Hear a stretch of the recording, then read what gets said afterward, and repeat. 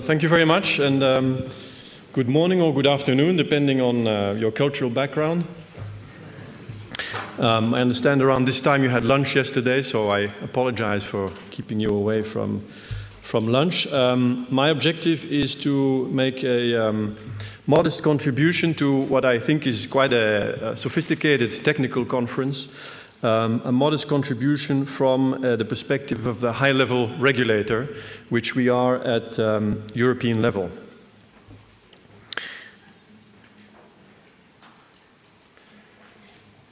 So, my name is, uh, is Philip Cornelis, and um, as was mentioned in the introduction, I'm the head of unit uh, of uh, a unit that is responsible for safety uh, and environmental regulation in the European Commission's Directorate for uh, Aviation Affairs.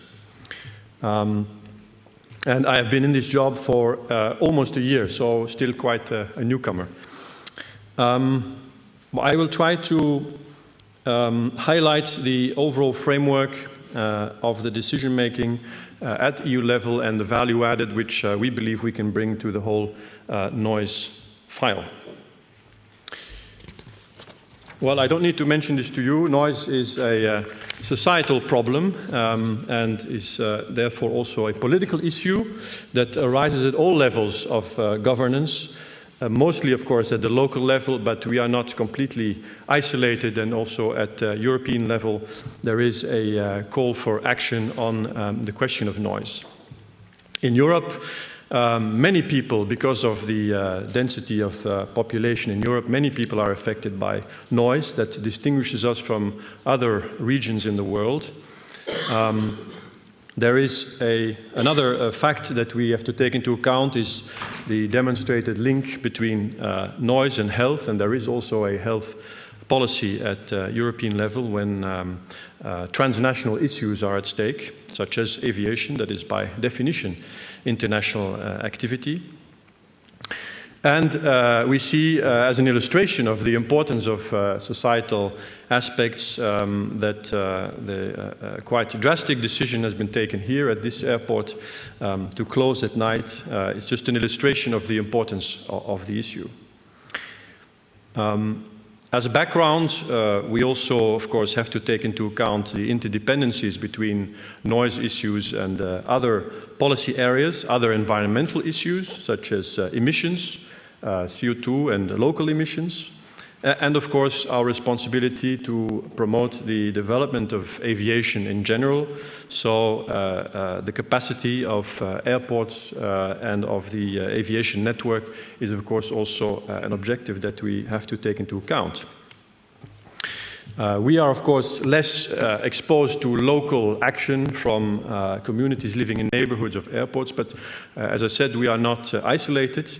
Um, and to give you two examples uh, of who is knocking at our door, well, first of all, of course, the aviation industry, the um, air carriers, because um, they are concerned that we should have as much as possible a level, level playing field in Europe so that they can uh, operate under clear rules and, and rules that are fair uh, for everybody, wherever their hub uh, and main base of operations is.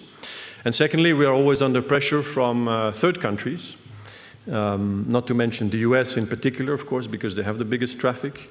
Um, uh, and basically, at every meeting we have with the US, and we have quite often meetings, they bring up noise issues. Uh, often they bring up specific measures that have been taken at one or the other airport uh, and put into question the process uh, that has led to those decisions. Our noise policy is part of a comprehensive approach to the environmental impact uh, of aviation. And uh, what I will try to do is, uh, is to, I will mention operating restrictions at the end of my presentation, but also try to give the, the wider picture uh, within which we work. Um, at EU level, we are active uh, in a number of areas, uh, starting with research and development. There are EU funds devoted to um, activities that contribute to noise abatement. There's the Clean Sky, um, joint uh, technology initiative. There is the SESAR joint undertaking uh, in the area of ATM, uh, and there is research into alternative fuels. We are active in uh, standard setting at the European level, but mostly also at global level within ICAO. including noise standards and uh, emissions. Uh, we are active in the field of operational measures within the single sky, working on uh, modernization of ATM rules based on performance targets, as you are all well aware. And, uh, for example, uh, issues such as introducing continuous descent approaches. And finally, uh, we are active in the field of regulation and market-based measures. As you know, we favor in general um, market-based approaches. Uh, that's the, the, the, road that has been taken for uh, CO2. Of course, they're also allowed in the area of noise to internalize environmental effects in charges, for example, but in noise uh, we also have rules on operating restrictions. And I will, of course, come back to those. We work within the framework of the famous ICAO balanced approach. So what do we do as EU within this, um, within this framework? Well, first of all, of course, we work at uh, limiting noise at source, um, working on global standards through ICAO. And we have our uh, directives um, on uh, operating restrictions there is the issue of land use, which of course is a uh, local responsibility, but uh, it's an important component of the balanced approach, and it's something that we should not um, um, lose from sight.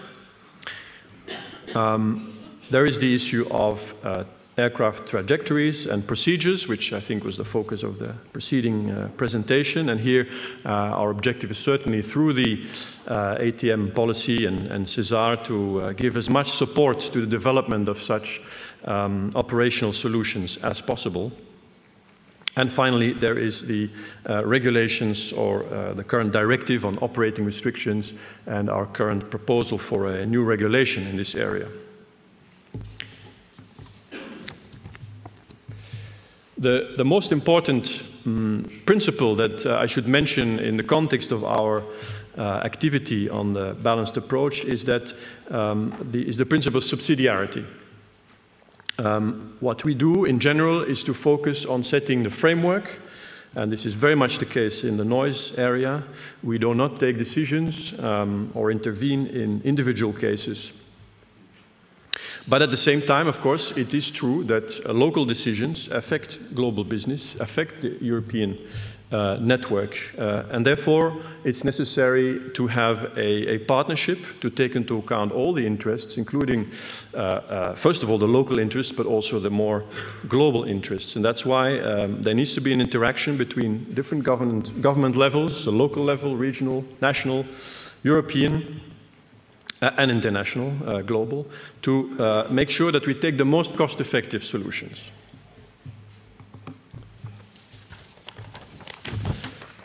So let me go through the, the four areas uh, that I mentioned earlier, the standards, the land use, the operational procedures, and the uh, restrictions. First of all, quieter aircraft. We are um, pushing consistently for high ICAO standards for noise at source, we are probably the region pushing hardest because, um, because we are the, that um, highly built up and densely populated area.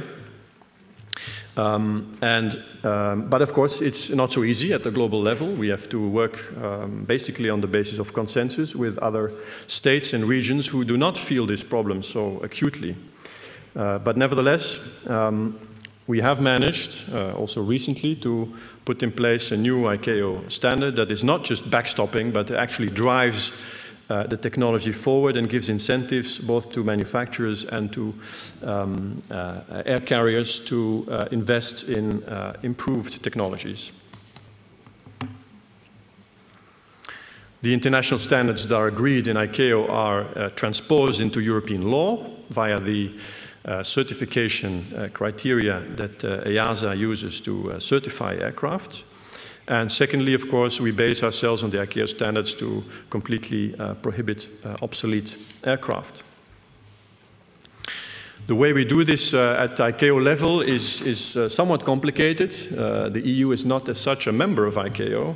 We have an observer status, and the members are the EU member states. Um, and uh, some of the member states are scaling back their involvement in such uh, uh, um, specialized areas as uh, noise abatement, and therefore we rely more and more on, on good cooperation, coordination, and pooling the best uh, resources that exist uh, in the member states and, and, in EASA, for example, or Eurocontrol, to try to come with a, a, common European position. Usually that works. Um, we usually manage to extend it to the neighboring countries, um, and we uh, typically take positions in ICAO with, uh, in a block of 44 countries. So that's quite uh, a heavy um, influence in uh, ICAO. The second point, uh, land use, I can be quite short because we have no competence at EU level for good reasons, and we have no ambition in this area. Uh, this should be uh, decided at local level, but uh, it's important that also local decision making um, um, is, takes into account the role uh, within the balanced approach, takes into account the long-term consequences of uh, decisions. Thirdly, the question of uh, operational procedures. Environmental performance is, of course, part of the single sky policy and covers both the en route uh, and the um, local phases of uh, operations. Um, and uh, we set the general framework. There should be targets uh, in uh, different kind of targets that need to be applied to the best of uh, ability, uh, taking into account local circumstances. So there's of course a role uh, for the uh, National Civil Aviation Authority and the operators themselves to actually decide how concretely to put in place those targets. And finally, the operating restrictions. We um, aim for um, Cost-effective measures, operating restrictions are of course the most sensitive issue, um, not least here in Frankfurt. Um, but what is important for us here is subsidiarity, and all we do is regulating the process. We don't decide the actual measures. We impose a process, a due process that has to be followed. Um, to make sure that decisions are taken not only on the basis of who is making the most noise or who is the most effective lobbyist, but that the decisions are based on, on consultation, discussion, on, and on transparency uh, in terms of what the actual impacts are, that it's a discussion based on evidence. Um, and uh, we are convinced uh, that this leads to more, um, uh, to better solutions um, and more acceptance from all sides uh, that compromises have to be made. We provide support for such a process, uh, collaborative process, by providing a method, by providing data uh, to carry out the uh, evidence um, gathering and modeling. Secondly, um, there is the um, policy on marginally compliant aircraft. That is an important component of the EU regulation. Again, not imposing anything uh, in terms of measures, but giving a tool as part of the whole toolbox that is available to uh, local authorities and, um, and operators. Uh, it's a tool to uh, use this option to impose restrictions or not, depending on whether uh, locally other options are better or not. And we have, of course, a common definition of what are marginally compliant aircraft that helps to avoid uh, discussions and disputes um, that there uh, this discrimination or, or locally uh, unfair decisions uh, are taken. And at the same time, of course, by making this optional, uh, we allow uh, for air traffic growth where um, this is needed. Some figures to illustrate this issue. Uh, because it's quite, uh, it's one of the few remaining points of discussion between the European Parliament and the Council uh, on our new regulation. Uh, is precisely the, the level uh, of marginal, marginal compliance and the timing of, of the different levels. So um, in these um, figures, you see in the third column the um, current definition of marginally compliant airports is applied to a number of, um, uh, sorry, aircraft is applied to a number of airports. And you see that uh, in 2006, because this one is 2006, um, there was uh, around 2% of um, aircraft affected by this uh, or fell into this uh, category uh, of marginally compliant. Um, chapter 3 minus 8 uh, is what Council and European Parliament would like to put in the new regulation. Um, and then you see what this would have meant in 2006. Uh, and the Commission proposal was Chapter 3 uh, minus 10, uh, which covers a, a larger, uh, um, a larger share of uh, operations. But it's important now to look at the picture in 2011. And uh, there you see that, in fact, the current definition of marginally compliant aircraft is, has become almost meaningless. There are almost no um, operations anymore within this category. So, as a tool that we provide to uh, local authorities, it's, it's, it's no longer useful. That's why we definitely need to modify this uh, definition. Um, we are not very happy with the uh, European Parliament and Council's position to um, to limit the uh, new definition to chapter 3 minus 8, because as you see here, even in 2011, which is already two years ago, it also affected a very, very small, about half a percent uh, of operations, whereas uh, chapter 3 minus 10 is uh, covering uh, between, let's say, 5 and 10 percent, and giving, therefore, uh, making this a useful measure for those who want to make use of it. Um, the two figures in bold are the two cases where, in fact, the uh, market evolution has been um, uh, unhelpful because the number of uh, operations falling within this uh, category has actually increased since 2006. So uh, these are really the, the cases where the use of the marginally compliant aircraft uh, tool would, would bite the most. Whereas you see that in other cases, um, the airports um, and the carriers have managed to improve a lot. If you take the first two cases, Amsterdam and Charles de Gaulle, uh, in 2000, if I can go back, I'm not sure. Yes. In 2006, uh, you had 7% um, uh, and 9% falling uh, in the category, and uh, now they are both just over 4%. So there actually uh, the market has evolved itself. The main elements of our new proposal, which is um, close to being finalized with Council and European Parliament, are, uh, first of all, that we replace the directive with a regulation. This means that uh, the rules are directly applicable. Member states do not have to uh, adopt their own national law uh, implementing the European rules, uh, but the rules, the method, the process that we prescribe is directly applicable and therefore is much more harmonized, much less uh, confusion. Um, uh, and secondly, uh, we uh, harmonize the methods uh, to decide on operating restrictions. We don't impose solutions. They remain tailored to the local situation, to the airports.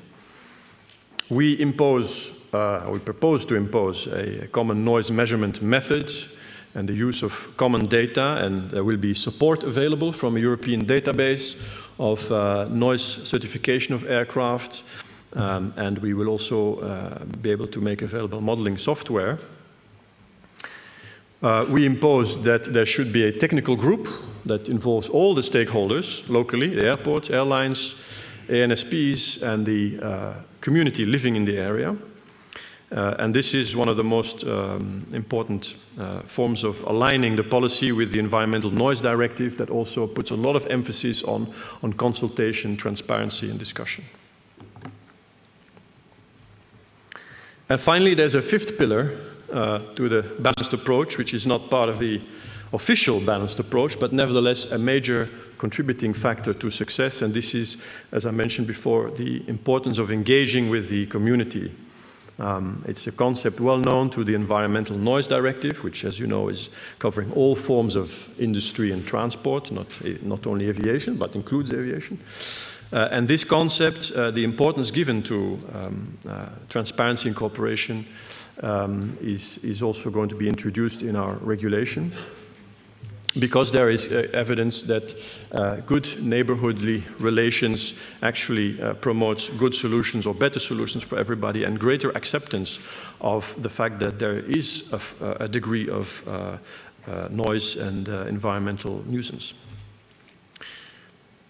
So what will contribute to this in our proposal is, first of all, the need for having a technical group um, the fact that there will be a, a more evidence-based process with data uh, and models available to everybody involved.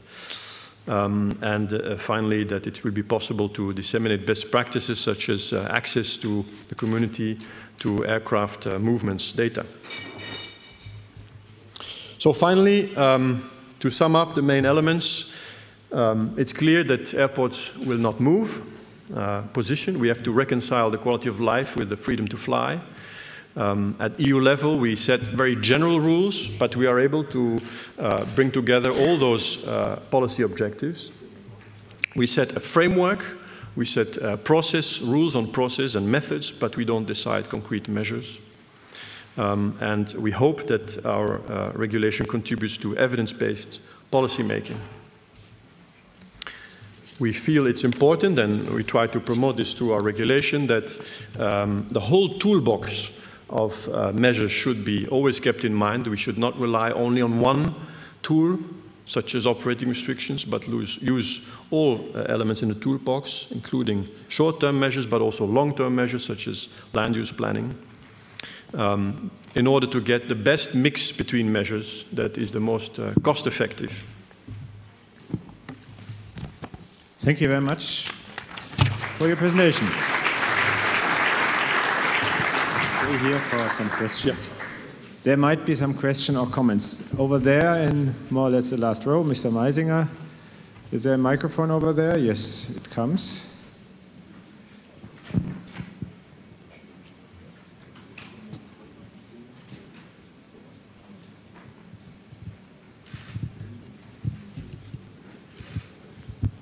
I have a small bunch of questions. The closure of Frankfurt at night you had in one of your slides, and you called that dramatic. I'd say it's visionary. Uh, you said night. It's not the night, it's from 11 to 5. So uh, you should really change that slide. It's wrong. Um, cost effectiveness. What about health and uh, health questions? The costs of health. Why is cost effectiveness so high on the agenda of the EU? And why is harmonization so high on the agenda? We have heard in former um, talks that we should have different systems working from airport to airport or from runway to runway. So what, what, what is the gain that you are only talking about harmonization? And the last point, airports will not move. That is not true. Uh, in Munich, we had a major movement of a very important airport. Mm -hmm. Okay, I knew it was going to be dangerous to mention that uh, night uh, issue in Frankfurt. Um, but it, it, illustrates the, the, general point that I wanted to make, which is that uh, that we don't impose solutions. We have we, we, had no role in in that measure at all at European level. Uh, it's a local decision, uh, and what we try to do is to uh, set in terms of harmonization, because you asked the question, why harmonization? We harmonize the method, we harmonize um, the process, uh, but we leave the decisions at the end of the day in the hands of, of local authorities. Um, why are we involved? Because uh, noise is, a, is, a, is, is, first of all a local issue, but it has a, a much wider dimension. And um, all users of, of airspace and airports um, are entitled, including passengers, by the way, uh, to a, a, good policy in this area and one that uh, takes into account all the impacts uh, in a balanced way on the basis of, of evidence. Um, and it's up to the local authorities to set the level of ambition. If I want to be very strict in my uh, region, you can. There's nothing that prevents you. Uh, but then, when, as, as, to which measures are chosen to uh, achieve those objectives, uh, it's important that a certain process is followed, that the whole toolbox is taken into account. This is the contribution that we try to make. But as I said, the ambition Uh, the policy ambition is a purely local decision. There's no harmonization uh, whatsoever. Further questions or comments? That is not, there is one, okay. Over there, please, microphone comes.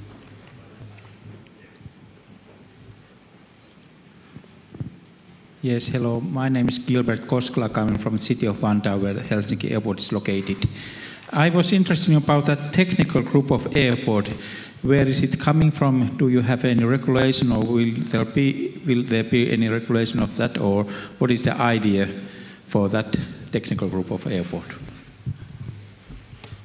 Well, if I'm well informed, there is already in the Environmental Noise Directive, which, as I said, covers uh, all forms of industry and, and transport, including aviation, a, a, requirement for such a consultative body.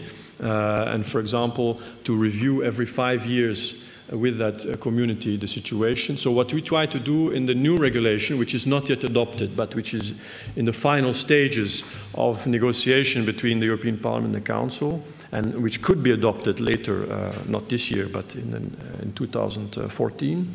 what we try to do there is to, is to align the, the process, so uh, to follow this, this, philosophy that exists in the Environmental Noise Directive uh, and to um, describe uh, uh, how it should be done in the uh, aviation sector um, to involve all those stakeholders that I mentioned, so the, the operators, the, the community, um, and so on. Okay, thank you. Further questions? I don't see any raised hand. So thank you very much uh, for that. Thank you.